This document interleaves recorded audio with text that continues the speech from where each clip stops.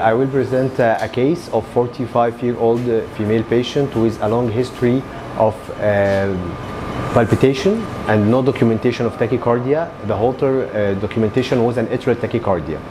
Uh, we thought that it is a strong history for supraventricular tachycardia, she, so she came today uh, for uh, SVT uh, uh, induction via EB study. Uh, at, the, uh, at the beginning of, uh, uh, of, the, uh, of the procedure, we failed to uh, enter via the right uh, femoral vein axis, uh, even using uh, ultrasound guided.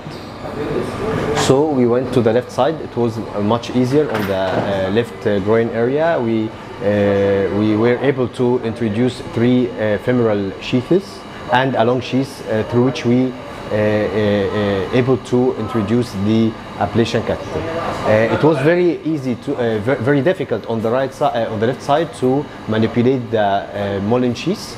Uh, and uh, we uh, we we could able to uh, to get a bidirectional non-irrigated uh, catheter uh, and we will show the fluoro uh, exactly uh, what happened in the procedure uh, during uh, introduction of the ablation catheter and during ablation.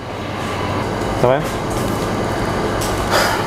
إحنا بدأنا الاستادي طبعا حطينا آه، قسطرة السي اس في ال CS وبدأنا ان إحنا نعمل burst pacing بعدين عملنا atrial extra stimulus ال atrial extra stimulus ظهرت معانا jump و echo و tachycardia was sustained وطبعا كان شكلها AVNRT with simultaneous A and V activation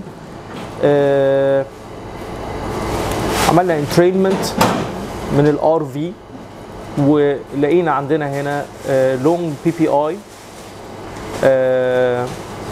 فيفرنج الاي في ان ار تي بدأنا نجيب ال signal of slow pathway عملنا mapping لحد ما جبنا good signal فيها small A و large V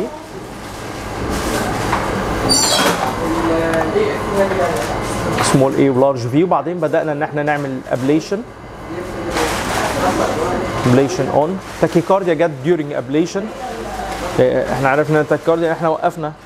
ablation أكتر آه، من مره وكانت بتبقى sustained وبتحتاج ان إحنا overdrive عشان نوقفها تمام وبعدين uh, had uh, slow junctional rhythm during ablation uh, we were ablating at 35 watts and uh, we, we elevated the watt to, to 40 watts and uh, uh, gave a duration of uh, 120 seconds.